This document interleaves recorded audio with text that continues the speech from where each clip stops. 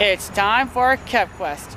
Right now I'm at Starbucks once again on Palomar Road to try their holiday flavors. I have never tried their Christmas slash whatever like the holiday season for the winter season and the one I'll be trying today is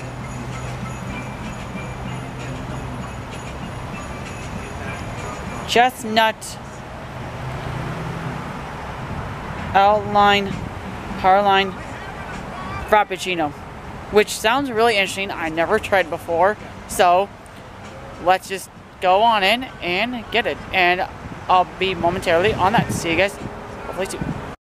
So, I have got to drink now, and now, here it is. Right in front of me. And the drink is the chestnut pine, alpine line line latte frappuccino, which actually looks really interesting. It has chestnuts and spice finished with whipped cream and spiced pine cr crumbles, which looks really good just all the way to it. And now, let's just take a bite.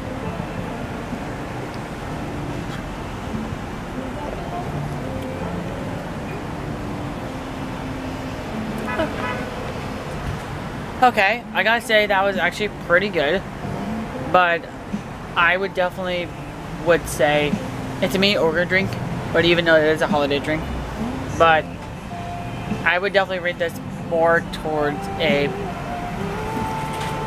6.1. It's okay drink, but I wanted to try it out, but from my point of view, it's okay, and it's just all the way around to it, but as you may know, it's not that bad type of drink, but as you may know, just all the way to it and all the way for it too as well.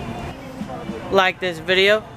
Oh, also just a reminder, I did do other Starbucks video drinks to my videos and to it all, you can, I do have the Star, all my other Frappuccino videos I did for Starbucks and I would put them all the link in the description down below and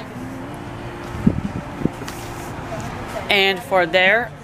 And um, subscribe for that too as well. So subscribe to my channel. Leave the bell notification on if I'm posting any videos.